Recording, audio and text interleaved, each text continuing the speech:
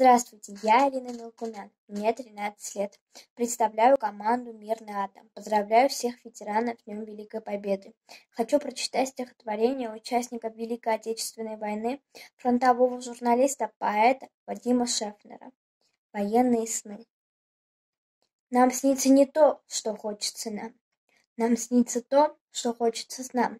На нас до сих пор военные сны, как пулеметы наведены.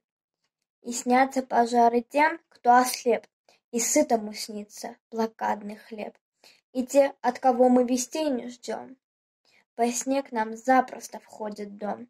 Входят друзья предвоенных лет, Не знаю, что их на свете нет. И снаряд, от которого случай спас, Осколком во сне настигает нас.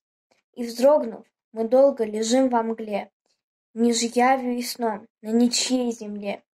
И дышится трудно, и ночь длинна, Камнем на сердце лежит война.